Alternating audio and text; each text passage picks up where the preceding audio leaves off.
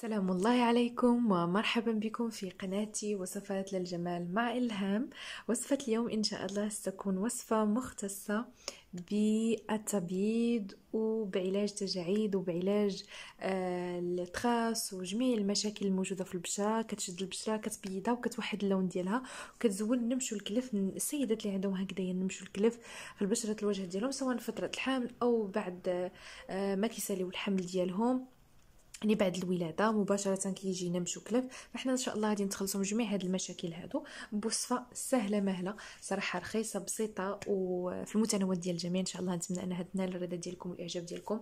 تجربوها في القريب العاجل ترجعوا للفيديو تكتبوا لنا في التعليق كيفاش جاتكم. قبل ما تعرفوا على المكونات ديالها فنبغي نقول لكم ما تنساوناش بالاشتراك في القناة باش تزيد العائلة تكبر إن شاء الله وتضغطوا على زر الجرس باش هكذايا أي فيديو نزلتو يجيكم إشعار بأنني نزلت فيديو في أي وقيتة أكيد. وعملوا like لهذا الفيديو باش تزيدوا تشجعوني فضلا وليس امرا. وأيضا آه، تبارطاجيو هذا الفيديو اللي عجبكم ونال الرضا ديالكم. بارطاجيوه مع الصديقات والحبيبات ديالكم باش إن شاء الله تعم فائدة لعدد كبير من الناس اللي كيتابعونا وكيشاهدونا. فندوزو باش نتعرفوا على المكونات ديال الوصفة. أول مكون غادي نحتاجو الطماطم أولا مطيشة بخصوص الطماطم راه زوينة. داكشي علاش كنقول لكم آه، مني تكونوا كتستعملوها في الأكلات ولا في الشيوات ولا في السلطات دائما كيبقى واحد الكمية ديال المطيشة كتبقى آه ما نرميوهاش. دائما نستخدموها لبشرة الوجه ديالنا. غير العصير ديالها مثلا ناخذوه ونعملوه مع بزاف ديال الأشياء ونخلطوه ونعملوه لبشرة الوجه ديالنا. أي شيء طبيعي راه زوين ومفيد لبشرة الوجه. واحد القطعة ديال الجبن الفرماج.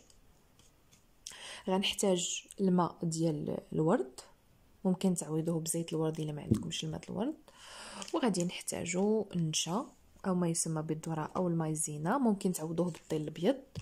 ونحتاج واحد المعلقه صغيرة ديال الحليب المجفف اولا الحليب النيدو. يعني مكونات صراحة بسيطة ورائعة في التبييض ورائعة في علاج التجاعيد. فمهما كان العمر ديالكم يعني حتى وإن كنتو في عمر ال 50 60 70 إن شاء الله تعالجوا التجاعيد. لأنه كنعرفوا في هذا العمر هذا ولا في هذا السن بالضبط كيكونوا تجاعيد قوية من الصعب أننا نعالجوها وإنما وصفة اليوم غتكون إن شاء الله لها بالمرصاد كما كنقولوا وغادي تعالج لكم إن شاء الله آه، تجاعيد وتعالج لكم جميع العيوب. فبسم الله على بركة الله. نبداو على بركة الله في الوصفة. أول حاجة غناخذ هذه القطعة بعدا ديال الجبن. خصني نمعكها مزيان.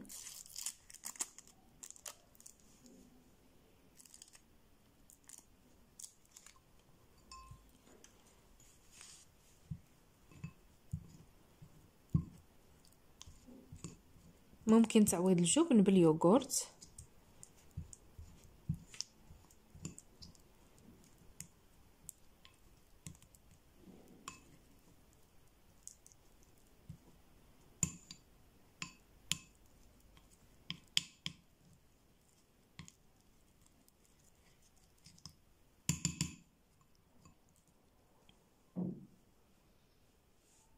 من بعد ناخذ عصير طماطم ولا عصير مطيشة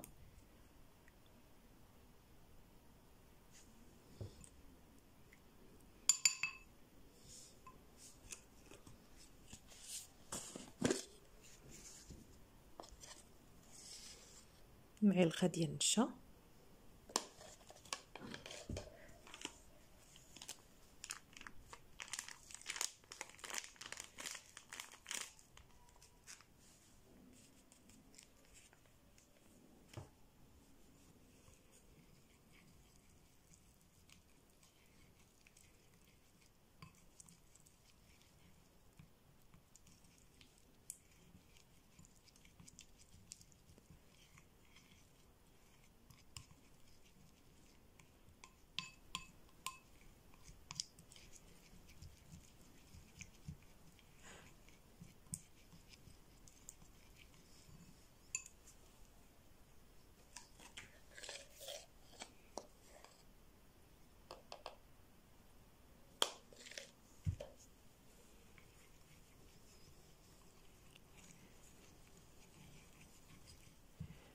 وغادي نزيدو نضيفو كمية من ماء ورد.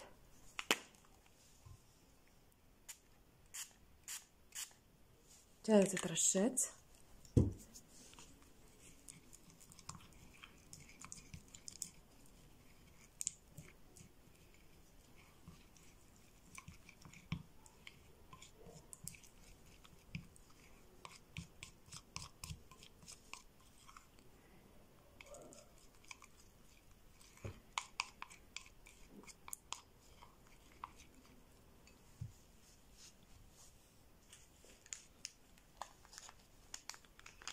من بعد غادي نضيفو كمية من الحليب المجفف. كنبقاو نخلطو حتى كنحسو بالقوام اللي غادي يناسبنا.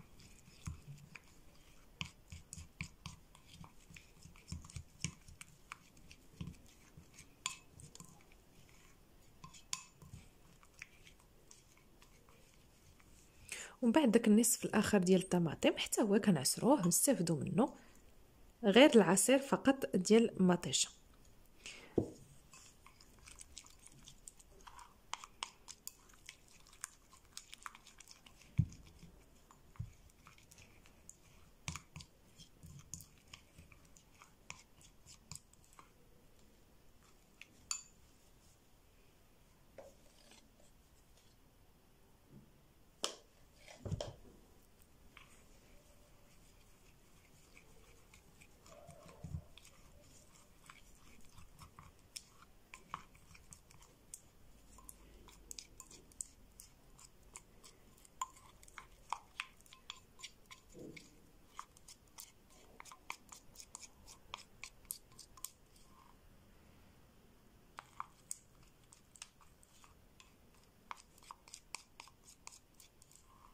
وها هي المصفى صبحت جاهزة للاستخدام رائعه جدا في القوام ديالها. غادي نطبقوا معكم باش تلاحظوا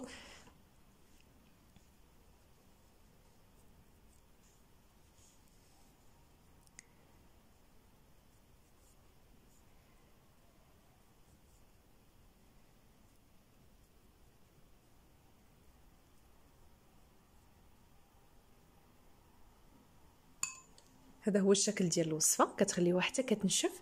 من بعد كتغسلوها. كترطبوا البشرة الوجه ديالكم بأي حاجة معتمدين عليها أساسية لنوعيه البشرة الوجه ديالكم. واش هي جافه حساسة دهنية بشرة عادية أو مختلطة. فكترطبوها بأي مرطب عندكم. زيوت كريمات بأي حاجة تناسب البشرة الوجه ديالكم. وبصحه والراحة وصفة كتستحق تجربة وصفة قوامها رائع جدا.